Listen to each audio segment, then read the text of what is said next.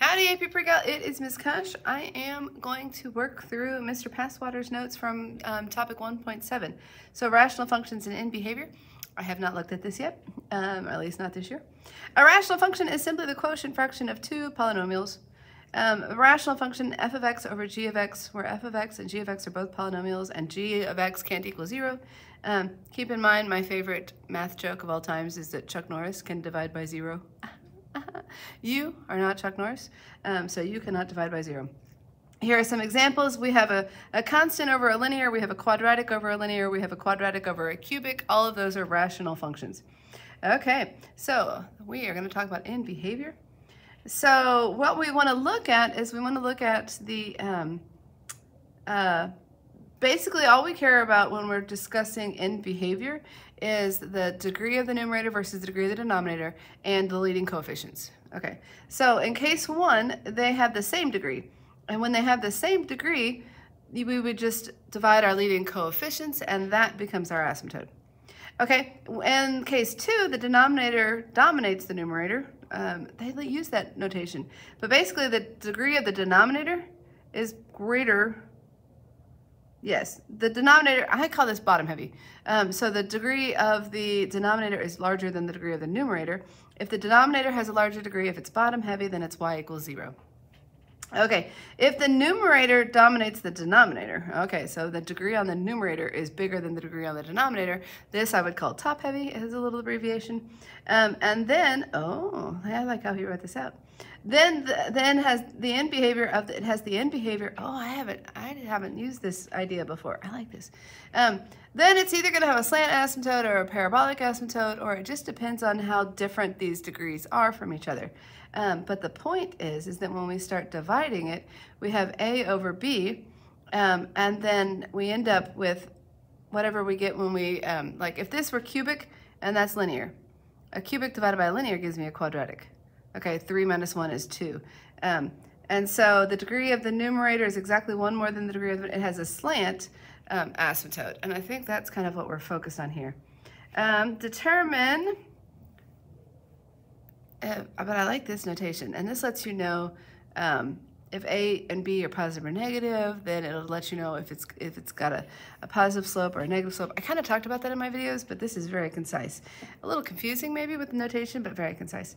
Okay, determine if the following rational functions have a horizontal asymptote, a slant asymptote, or neither.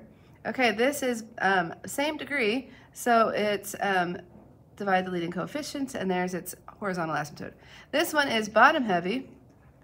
Um, the degree of the denominator is larger than the degree of the numerator. Its asymptote is y equals zero. This is top heavy, so it has a slant. Um, it's on only one degree larger. Um, what does it say?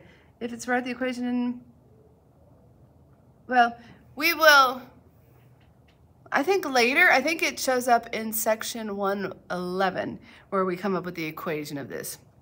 So just for now, we know that it's going to have a slant asymptote.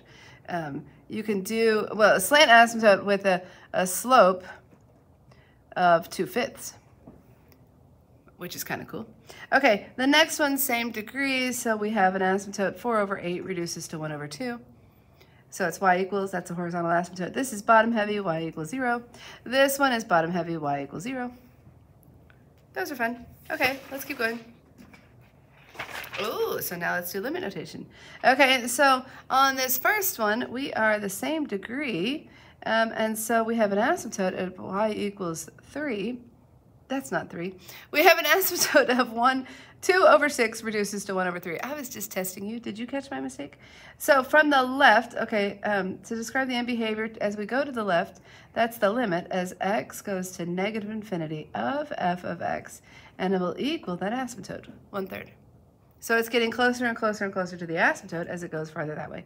From the right, we have the, limit as x goes to positive infinity of f of x, and that's also equal to that asymptote. The next one, we are bottom heavy, so the asymptote is y equals 0, so the limit as x goes to negative infinity of g of x is equal to 0. From the to, going to the right, the limit as x goes to positive infinity of g of x is still equal to 0. Okay, the next one is uh, top heavy. So it's got a slant. Notice it's four. It's a it's a quartic divided by a cubic, which would give me a linear. So it's got a, um, a slant asymptote slant with a slope of negative 3 when you divide the leading coefficients. Um, and so that's going to do something like this. Well, maybe not, maybe more steep, whatever. But the limit as x goes to negative infinity of, this is h of x, what is it doing? Well, it's going up to positive infinity. And the limit as x goes to positive infinity of h of x, what's it doing? It's going down. It's following that pattern, and so that's negative infinity. I think those are cool. Okay, um, say they give you the graph. What This appears to have an asymptote of 2. y equals 2 is our lovely little asymptote. The limit as x goes to negative infinity of, we'll call this k of x because k is our favorite letter. It is. Got it, everybody? Your favorite letter is K. What's happening? We go to 2. And the limit as x of x, the limit, let's try that again. The limit of, the limit as x goes to infinity of k of x is equal to 2 also. Okay, on this one, this appears to have an asymptote of y equals negative 1. We don't care what's happening in the middle when they talk about end behavior. So the limit, we'll call this one, we'll call this one j of x just to change it up. The limit as x goes to negative infinity of j of x will be equal to negative 1, the asymptote. Same idea here. The limit as x goes to positive infinity of j of x is equal to negative 1. Do, do, do, do. Slant asymptotes. Oh, okay. Oh, we talked about this. Um, the slant asymptote is parallel to the line um, A over B. So uh, we were just, basically, I don't really care what the y-intercept is at this point. We just were dividing our leading coefficients. So um, no matter what this plus, um, well, we would usually say mx plus b, but we are using, we're already using b. Let's use a k. So whatever this y-intercept is, it's still, um, this value may change, but you stay parallel to that. Um, okay. Which of the following has a slant asymptote that is parallel to the line 1 half x, y equals 1 half x? Well, we need something that is top heavy.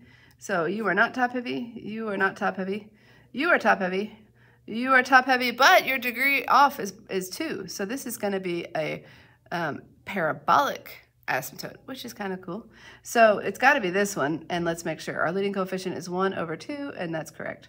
Okay, so three only is correct. Those are fun.